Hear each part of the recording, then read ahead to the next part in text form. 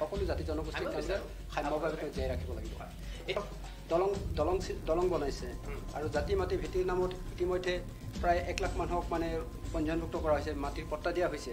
আৰু তেনেকৈ বিভিন্ন ধৰণৰ আৰু ধৰক আজি মানুহৰ ঘৰে ঘৰে ধৰক দুখীয়া মানুহবিলাক অন্তত পাঁচ কেজিকৈ চাউল দি আছে। আন্দোলন কৰাৰ বহুত কাৰণ থাকে মানুহৰ গতিকে তেওঁলোকৰ এই কাৰণবিলাকে তেওঁলোকক বাধ্যতা কৰে কি জানি? কাৰণ যেনেকৈ মানে ধৰক বিদেশী আন্দোলন বিদেশী আন্দোলনটো কেনেকৈ লৈ গৈছিল? নমস্কাৰ পি আই নিউজ চাই থকা প্ৰতিজন দৰ্শকক স্বাগতম জনাইছোঁ।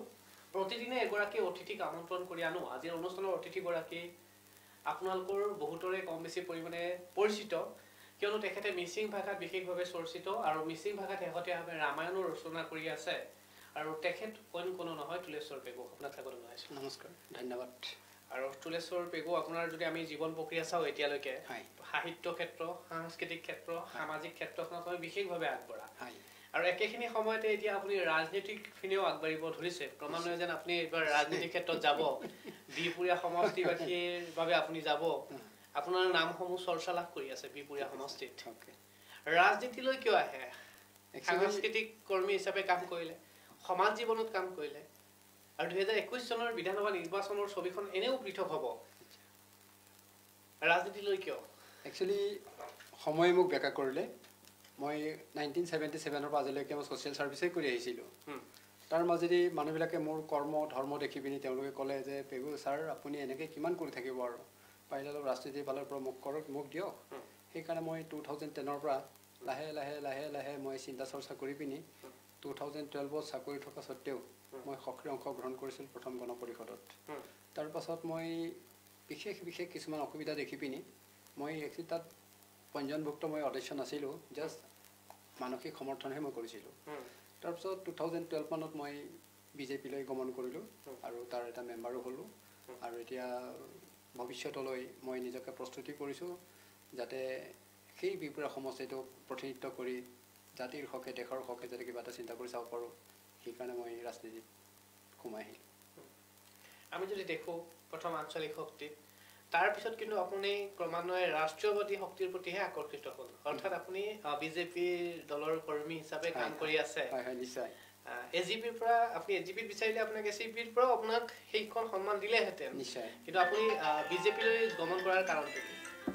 একচুৱেলি মই আঞ্চলিক দলৰ ওপৰতে বিশ্বাসী আছিলোঁ। কিন্তু তেওঁলোকৰ কৰ্ম দেখি মই অসন্তুষ্টি পালোঁ কিছুমান কথাত। সেইকাৰণে মই বহুত কথা চিন্তা চৰ্চা কৰি পিনি মোৰ লগৰ বহুতেও ক'লে যে আপুনি ৰাজনৈতিক দল আঞ্চলিক দলত থাকিলে খুব এটা সুবিধা কৰিব নোৱাৰিব। গতিকে আপুনি ৰাষ্ট্ৰীয় দললৈ প্ৰৱেশ কৰক। সেইকাৰণে প্ৰথম চিন্তা কৰিলোঁ যে বিজেপিতে মোৰ কাৰণে বেষ্ট হ'ব। সেইকাৰণে বিজেপিলৈ গুচি আহিলোঁ। আপুনি সেইবাবে ভাবিলে যে আঞ্চলিক শক্তিত থাকি আপুনি আপোনাৰ কাম কৰিব নোৱাৰিব। নহয় বিশেষ ধৰণৰ মই যিটো ভাবি দেখিছোঁ যিসকলক আমি ভাবিছিলোঁ তেওঁলোকে ৰাষ্ট্ৰীয় প্ৰেক্ষাপটত যথেষ্ট তেওঁলোকে আক্ৰমণ কৰিব পাৰিব আক্ৰমণ কৰি দেশখনক তেওঁলোকে উদ্ধাৰ কৰিব পাৰিব এনেকুৱা চিন্তা চৰ্চা মই কৰিছিলোঁ। কিন্তু সময়ৰ নাটকবিলাক দেখি মই একচুৱেলি যথেষ্ট অসন্তুষ্ট পালোঁ। গতিকে তেওঁলোকে যি ধৰণে মন্তব্য দাঙি ধৰিছিল বা ৰাইজে তেওঁলোকক যি ধৰণে প্ৰেৰণ কৰিছিল কিন্তু তেওঁলোকে এইখিনি কাৰ্যত কৰিব নোৱাৰিলে। এতিয়া বৰ্তমান প্ৰেক্ষাপটত যদি চাওঁ আজিৰ তাৰিখতো বহু আঞ্চলিক শক্তিৰ সৃষ্টি হৈছে। বিশেষভাৱে আমি লুৰিণজুৰি গগৈৰ নেতৃত্বত যদি কওঁ অখিল গগৈৰ নেতৃত্বত যদি কওঁ এইসমূহ দলেও কিন্তু এটা এটা আন্দোলনৰ ধাৰালৈ আহিছে। নিশ্চয়। আপুনি? চাওক পৰম্পৰা চাওক। পৰম্পৰা দেখিলে মানুহবিলাকৰ যিটো চৰিত্ৰ কিন্তু ক্ষমতামুখী হৈছে পেটমুখী হৈছে দেশমুখী হোৱা নাই বা জাতিমুখী হোৱা নাই। সেইকাৰণে মানুহৰ আঞ্চলিক দলৰ ওপৰত বিশ্বাসটো হেৰাই পেলাইছে। তেওঁলোকে ক্ষমতাৰ ওপৰতহে বেছি গুৰুত্ব দিছে।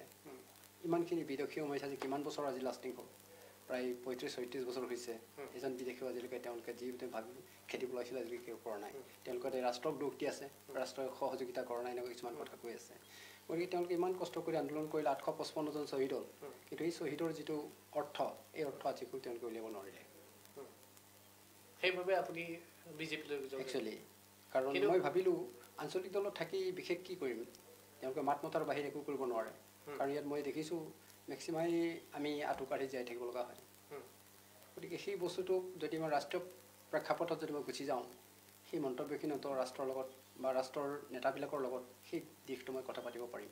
কিন্তু আজিৰ তাৰিখত যদি চাওঁ আমি আপোনাৰ বৰ্তমানৰ উদ্যোগ মন্ত্ৰীও এটা সময়ত অসম আঞ্চলিকতাবাদী শক্তিৰ পৰাই যোৱা।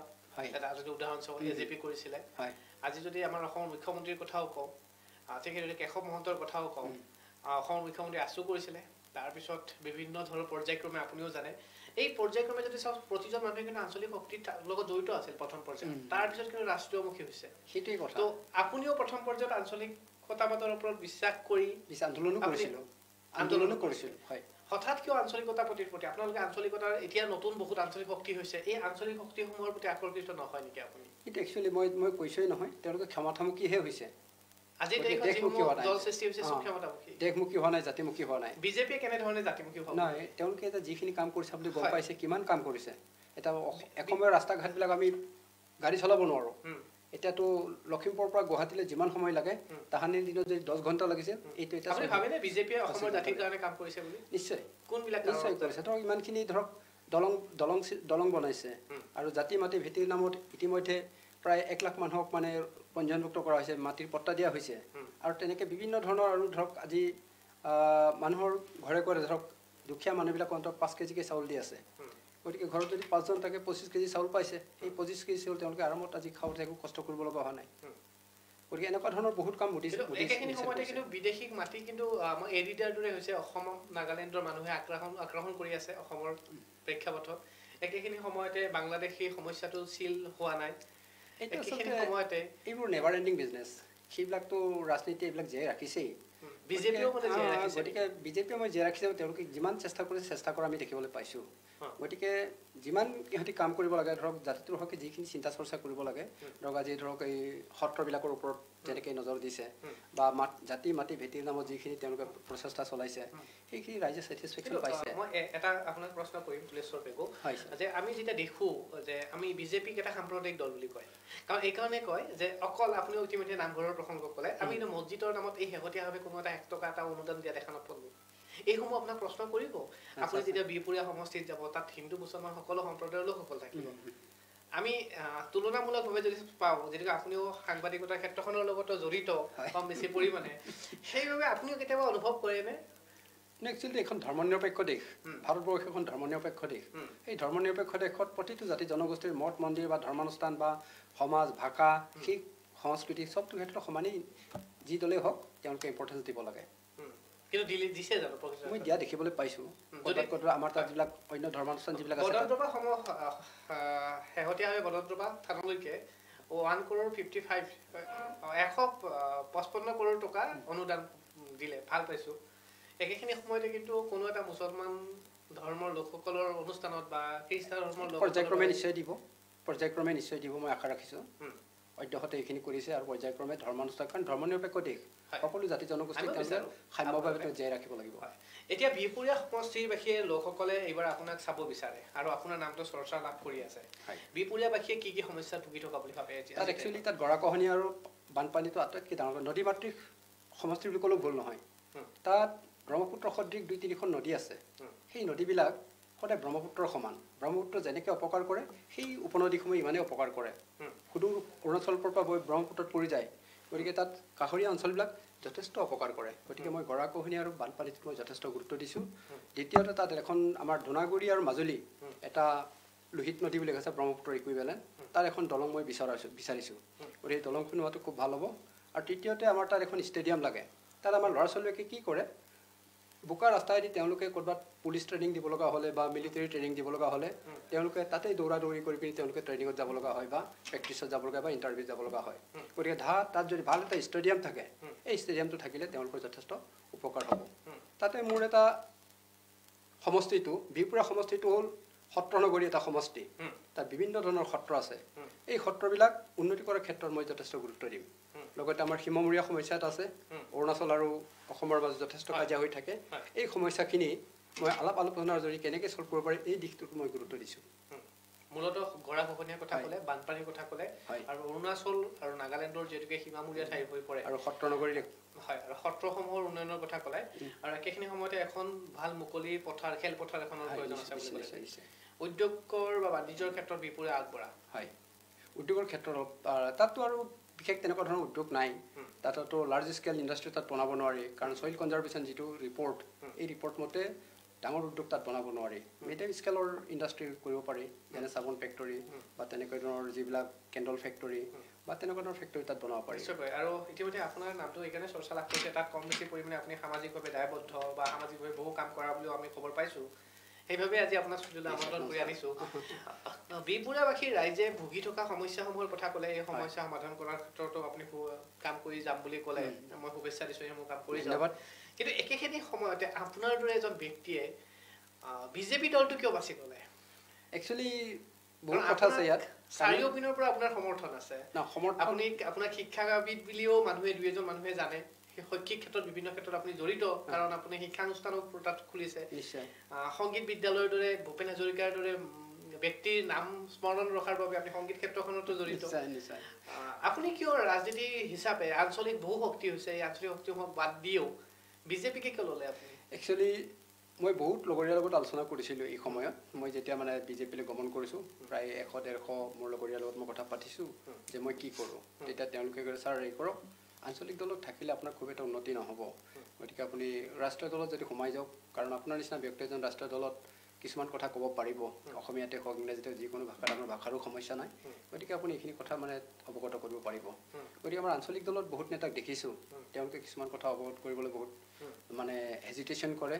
গতিকে আপুনি যদি আমি আশা কৰিছোঁ আপুনি ৰাষ্ট্ৰীয় দলত সোমালে বিশেষকৈ বিজেপি নিচিনা দলত সোমালে আপোনাৰ যথেষ্ট কামত আহিব আৰু উপকাৰ হ'ব ৰাইজৰ উপকাৰ হ'ব এনেকুৱা কথালৈ মই সোমাই আহিলোঁ আচলতে।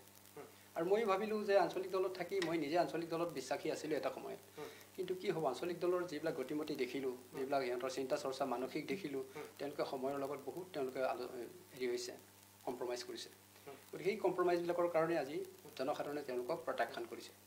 আপোনালোকৰ কেন্দ্ৰীয় গৃহমন্ত্ৰী অমিত শ্বাহে অসমৰ বুকুতে আছিলে আজি উৰা মাৰিলে।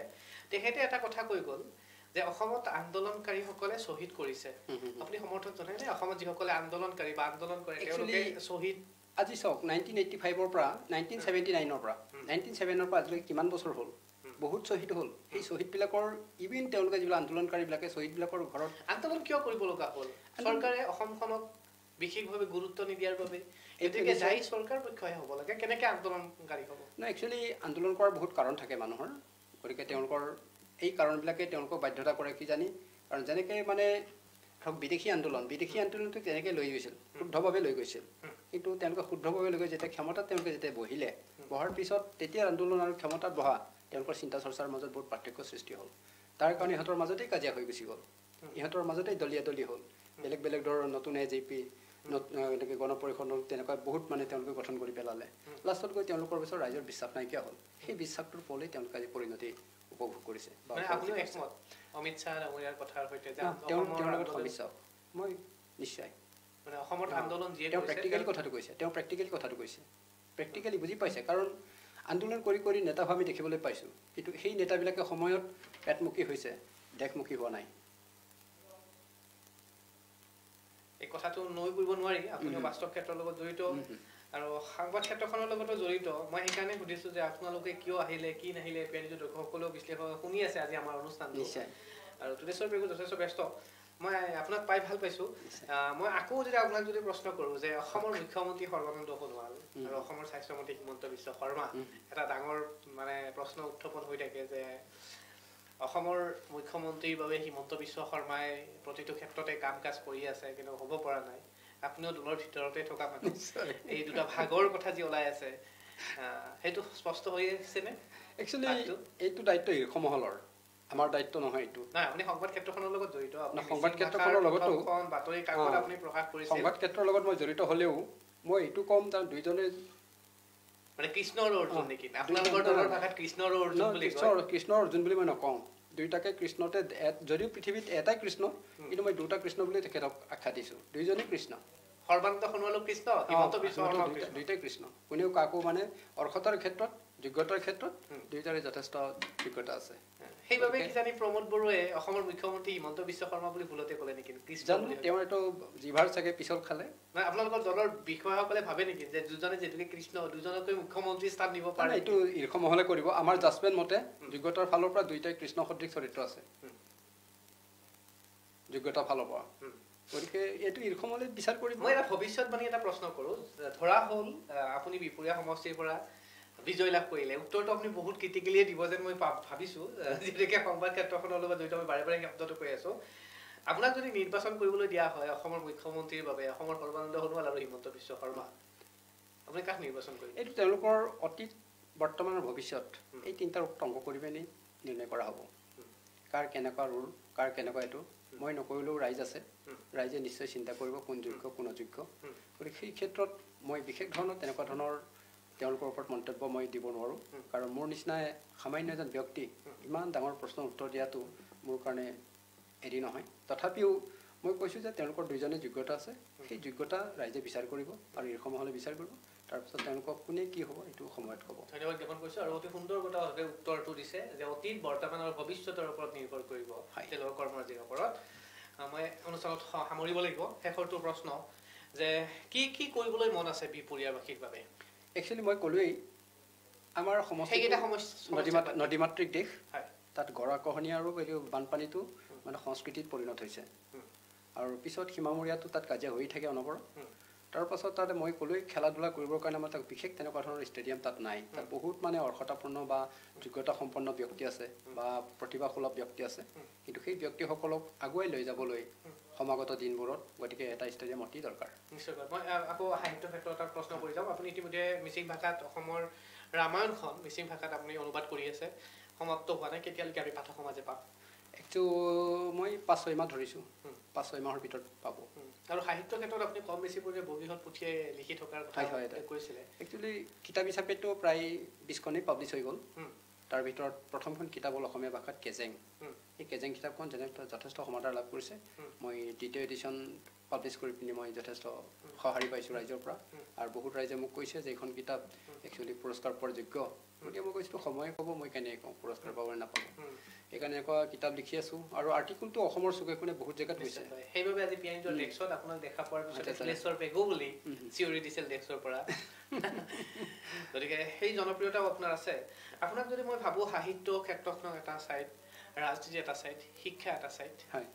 আপুনি কোনটো ভাগ আপুনি কাম কৰি ভাল মই সকলোতে কাম কৰি ভাল পাওঁ বিশেষকৈ শিক্ষা ডিপাৰ্টমেণ্টত মই যদিও কৰ ডিপাৰ্টমেণ্টত চাকৰি কৰিলোঁ। কিন্তু মই শৈক্ষিক দিশটো মই অতি ভাল পাওঁ আৰু আধ্যাত্মিক দিশটো মই বহুত ভাল পাওঁ। আধ্যাত্মিক দিশটো সৰু কালৰ পৰাই মই ডাঙৰ অৱস্থাতে ভাওনা চাবলৈ গৈছিলোঁ। তেতিয়া কিছুমান বস্তু বহুত শিকিছিলোঁ। কৃষ্ণৰ বিষয়ে গম পাইছিলোঁ বা এনেকুৱা নাটকবিলাকৰ পৰা। ধন ধনী দুখীয়া ধৰ্ম ধৰ্মৰ কথাবিলাক মই চিন্তা কৰিবলৈ মানে অৱকাশ পাইছিলোঁ। সেইকাৰণে মই আজিও সেই দিশটোত শৈক্ষিক আৰু আধ্যাত্মিক সেই দুটা দিশেই পৃথিৱীখনত মানুহক সভ্যতাৰ পোহৰ লৈ গৈ আছে। সেই দুটাক মানুহবিলাকে নচাত কৰাৰ কাৰণে আজি মানুহবিলাকে আসুৰিক শক্তিত বিশ্বাসী হৈছে। গতিকে সেই দুটা বস্তু মানে খুব দৰকাৰ। শৈক্ষিক আৰু শৈক্ষিক আৰু আধ্যাত্মিক। সেই দুটা বস্তুৱে পৃথিৱীখনত মানুহক সভ্যতাৰ পোহৰ দেখুৱাব পাৰে। তাৰ বাহিৰে কোনো অস্ত্ৰ নাই পৃথিৱীত। কিন্তু সেই দুটা অস্ত্ৰ মই কেতিয়াবা চিন্তাই লাগে কালি ৰাতি শুই থাকোঁতে চিন্তা কৰোঁ মানুহবিলাকে ইমান ধুনীয়া ধুনীয়া শিক্ষা লোৱাৰ পিছতো ইমান ধৰ্মৰ কথা কোৱাৰ পিছতো অনীতিত কিয় বিশ্বাস কৰে সেইটোকে মই আটাইতকৈ আচৰিত পাওঁ সেইকাৰণে মই মানুহক মিটিং মাটাংবিলাকত কওঁ আপোনালোকৰ মনবিলাক ঘূণীয়া হৈছে কিন্তু অট্টালিকাবিলাক ধুনীয়া হৈছে। ইমান ধুনীয়া অট্টালিকা হৈছে। তাতে আপোনালোকে ধৰ্মানুষ্ঠান কৰিছে কিন্তু মনবিলাক কিয় ঘূণীয়া হয় ঘৰতকৈ। গতিকে আমি সেই চিন্তা চৰ্চা নকৰিলে। হাজাৰ হাজাৰ শিক্ষা গ্ৰহণ কৰিলোঁ বা ধৰ্মানুষ্ঠান পাতিলোঁ। আমি যিটো ভাবিছোঁ প্ৰজন্মই যিটো চিন্তা কৰিছে সেইটো সময়ত এই ফলটো নাপাবও পাৰে। নিশ্চয়কৈ। আপোনাক ধন্যবাদ জ্ঞাপন কৰিছোঁ। ব্যস্ততাপূৰ্ণ সময়ৰ পৰা আমাক সময় দিয়াৰ বাবে আৰু পি আই নিউজ চাই থকা প্ৰতিজন দৰ্শকৰে সুস্বাস্থ্য কামনা কৰিছোঁ। আৰু তুলেশ্বৰ বেগু ডাঙৰীয়া আপোনাৰো ৰাজনৈতিক জীৱনৰ সুস্বাস্থ্য কামনা কৰিছোঁ। বিদায় দিছোঁ। চাই থাকিব আপোনালোকৰ পি আই নিউজ